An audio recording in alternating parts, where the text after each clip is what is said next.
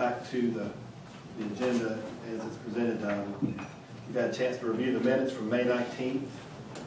Make any uh, corrections or notations to Lu in the meantime. Has everybody had a chance to read it? Any objections at this point? I move we accept the minutes as presented. Second. Second.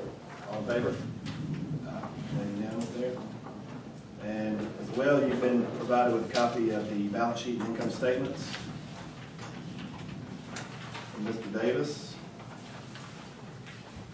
Would you like to give us a brief overview? Mr. Chairman, we are still under budget in all expense categories, and we're slightly above budget with our revenue. Our revenue continues to, to look stronger for this year than it did last year.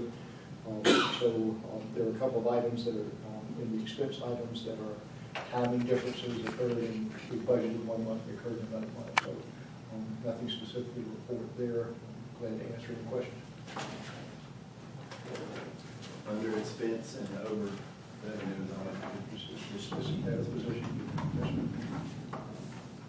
I move that we accept the financial statements. Second. All in favor?